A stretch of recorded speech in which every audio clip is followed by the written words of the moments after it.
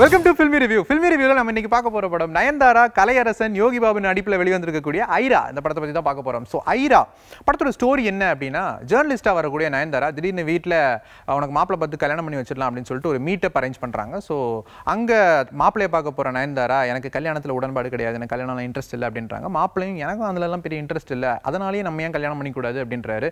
இந்த கதையெல்லாம் நாங்கள் ராஜராணிலே பண்ணிட்டோம். அதனால் வேண்டாம் அப்படின்னு சொல்லிட்டு வீட்டுக்கு வந்துடுறாங்க. வந்த இடத்துல மாப்பிள்ளை வீட்டில் ஓகே சொல்லிட்டாங்கம்மா. இனி கல்யாணம் வேலைகளை பார்க்க வேண்டியதுதான் அப்படின்னு உடனே இங்க சரிப்பட்டு வராது கல்யாணம் பண்ணி வச்சுருவாங்க ஸோ எப்படியாவது நம்ம இங்கிருந்து பாட்டி வீட்டுக்கு போயிடலாம் அப்படின்னு சொல்லிட்டு வீட்டில் யார்ட்டையும் சொல்லாமல் பாட்டி வீட்டுக்கு போயிடுறாங்க. ஸோ பாட்டி வீட்டுக்கு போகிற நயன்தாராக்கு அங்கே கண்ணு தெரியாத பாட்டி காது கேட்காத பாட்டியோட வேலைக்காரனாக வர்ற யோகி பாபு இங்கே ஒரு பயங்கரமான ஒரு அட்ராசிட்டி பண்ணுற ஒரு கேங்கில் வந்து போய் சேர்ந்துடுறாங்க. சேர்ந்துட்டு அங்கே ஏதாவது யூடியூப்பில் வீடியோ போடலாம் யூடியூப்பில் வீடியோ போட்டால் பயங்கர வைரல் ஆயிடலாம் அப்படின்னு சொல்லிட்டு ஒரு கான்செப்ட் தேடுறாங்க. ஸோ கான்செப்ட் என்ன அப்படின்னு பார்த்தீங்கன்னா அமானுஷ்ய விஷயங்கள் இது எல்லாத்தையுமே வந்து நம்ம ஏன் ஷூட் பண்ணி போடக்கூடாது? பேய் இருக்கா இல்லையா? பேய் வர்றதுக்கான அறிகுறிகள் இருக்கா இல்லையா? இந்த மாதிரியான விஷயங்கள் எல்லாத்தையும் வந்து ஃபோக்கஸ் பண்ணி ஷூட் பண்ணி நம்ம வந்து அப்லோட் பண்ணலாம். பயங்கரமாக வந்து ட்ரெண்ட் ஆகிடுவோம் அப்படின்னு சொல்லிட்டு அதுக்கான வேலைகளில் ஈடுபடுறாங்க.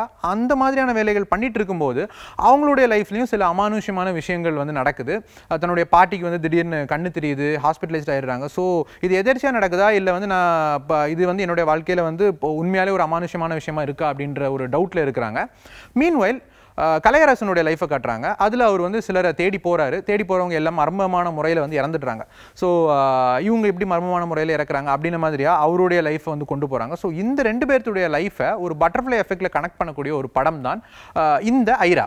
அந்த பட்டர்ஃப்ளை எஃபெக்டில் கனெக்ட் பண்ணதுக்கப்புறம் மீதி பாதி என்ன நடந்துச்சு அப்படின்றத வந்து ரொம்ப அழகாக சொல்லியிருக்கிறாங்க. அண்ட் uh, படத்தில் எப்படி வந்து ஸ்டோரி வந்து கேட்குறதுக்கு ஒரு நல்லா இருக்கோ அதே மாதிரி படத்துடைய காட்சிகளாகட்டும் ஸ்க்ரீன் uh, பிளே ஆகட்டும் எல்லாமே ரொம்ப நல்லா பண்ணியிருக்காங்க. அதுக்கு ஒரு பெரிய பாராட்டுகள் அண்ட் படத்துடைய எடிட்டிங் அண்ட் டிஓபி இதை மென்ஷன் பண்ணணும் ஏன் அப்படின்னா படத்தில் ஃப்ளாஷ்பேக் சீன்ஸ் ஆகட்டும் இல்லை ப்ரெசன்ட் சீன் ஆகட்டும் அதில் வந்து ஒரு டிஃப்ரென்ஸ் காட்டுறதுக்காக டிஓபியில் ரொம்ப நல்லா uh, உழைச்சிருக்காங்க அப்படின்னு சொல்லணும். கலர் கலெக்ஷன் ரொம்ப நல்லா பண்ணியிருக்காங்க. லொக்கேஷன்ஸ் எல்லாத்துக்குமே வந்து மெனக்கெட்டு இருக்காங்க அப்படின்னு இந்த படம் பார்க்கும்போது எல்லாருக்குமே தெரியும். அண்ட் அதுக்கே ஒரு பெரிய பாராட்டுக்கள். ஸோ படத்துடைய casting yes uh, Nayanthara.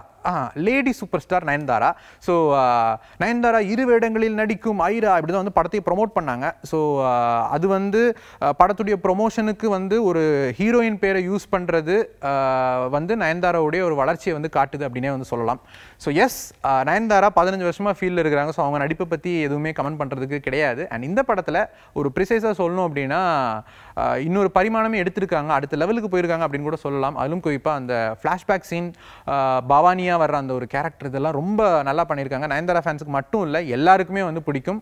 And அவங்களுடைய சட்டில் பிளே ரொம்ப அழகாக இருந்தது. வாழ்த்துக்கள் அண்ட் பாராட்டுக்கள்.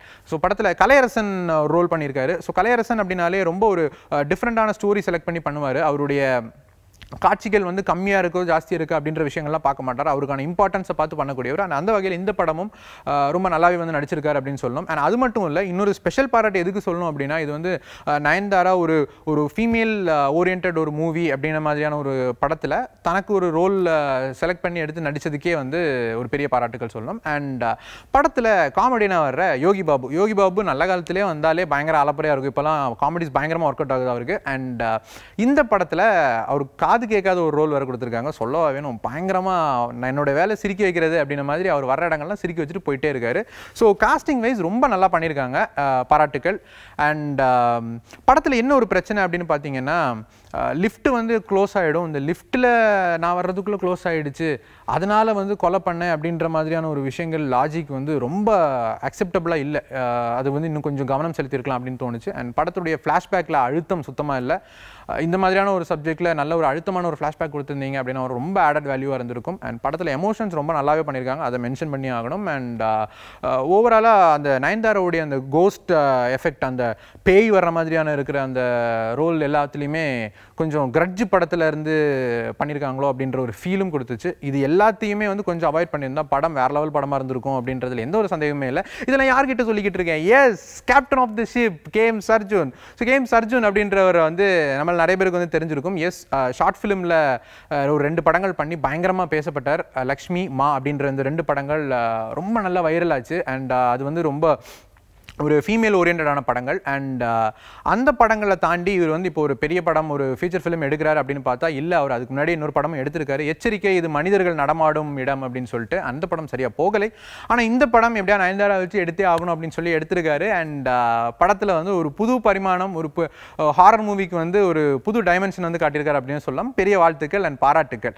ஸோ படத்தில் ஒரு ஃபெமினிசம் தூக்கலாக இருக்கும். நயன்தாரா இருக்காங்க அப்படின்னு நினச்சி போனால் படத்தில் ஃபெமினிசம் சொல்லலை ஒரு ஒரு பெண்ணாக இந்த சமுதாயத்தில் நீங்கள் பிறந்தீங்கன்னா நீங்கள் சந்திக்கக்கூடிய ஒரு அவலங்கள் ஆளுங்க உங்களை எப்படி அபகரிக்க பார்க்குறாங்க இந்த சமுதாயத்தில் இருக்கிறவங்க இந்த மாதிரியான விஷயங்களை வந்து ஒரு நல்ல ஒரு டைமென்ஷனில் சொல்லியிருக்கிறாரு.